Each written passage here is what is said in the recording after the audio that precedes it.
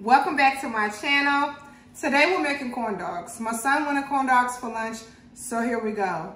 But before we get into this video, don't forget to subscribe, like, and comment below. So I know that you guys want me to make more videos and tutorials on different recipes. Also, let me know what you want me to cook next. So let's get into this corn dog.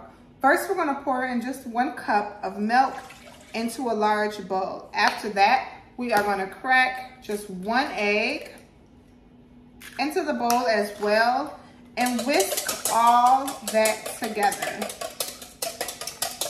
So once you get done whisking your egg and milk together, you're just gonna go ahead and get your cornmeal, baking powder, and flour, and go ahead and whisk that all together until it is nice and smooth, like a baby's bottom.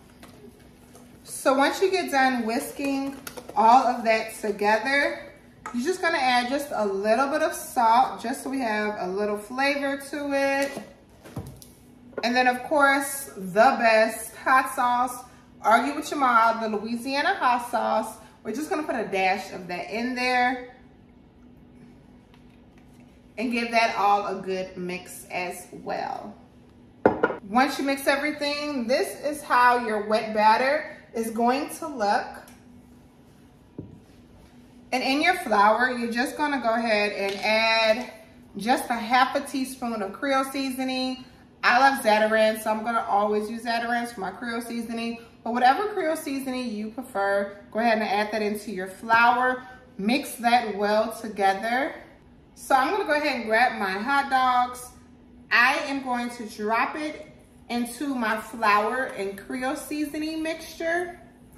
Once it's coated like this, I'm then gonna go ahead and dump it into my wet batter. And if you know me, you know I like using my hands. I am just a, a hands-on type of person when I do my cooking. and this is what your corn dog will come out looking like. Once you get your corn dog, you're just gonna go ahead and add it into your oil. So this is just the up close look at how it looks in the grease. This is what your corn dog comes out looking like. I like to put mustard on top of mine.